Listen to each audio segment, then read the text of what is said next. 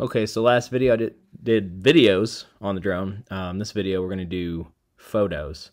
So we'll start out with all the way zoomed out. You're looking at the screen of the drone now. Take a picture here. And there it comes out with a visual image, a thermal image.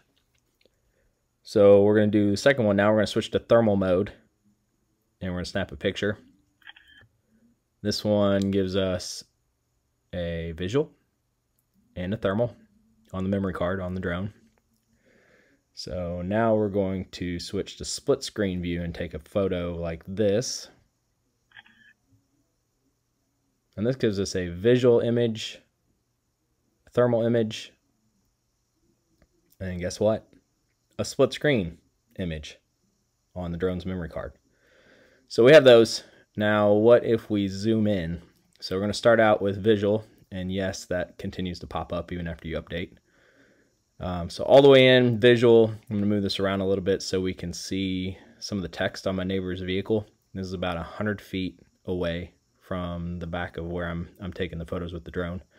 So we'll get a couple different font sizes on here. And that looks pretty good. We'll snap a picture here. What? No zoom. That's kind of strange. No zoom on the thermal. Okay, well, let's switch this over now to thermal. And we'll zoom all the way back in. It's 16 times now. Previous was 32 in picture. No zoom. No zoom on the thermal. Okay, let's go to split screen now. And we'll zoom all the way into 16 times and take a picture and see what happens here. No zoom. No zoom. But the split screen has zoom. Okay, so this is where it gets really weird. So here's three photos. On the left, we have the visual photo with no zoom. In the center, we use the split screen method to take the picture with 16 times zoom. And on the right, we have split, and I selected the split photo as the final one and the right hand one is the best for some reason. They're different. So here's my mean mug here. Uh, the mailbox back there is about 60 feet back. So the final image split looks like this up close versus the regular full frame image that's not zoomed at all.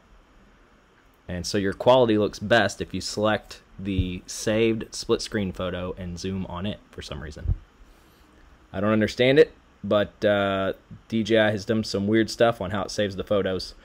So if you're doing any type of zooming with the camera, make sure that your screen is on split screen mode on the controller when you take the photo, and it will yield the highest quality image on the drone's actual memory card.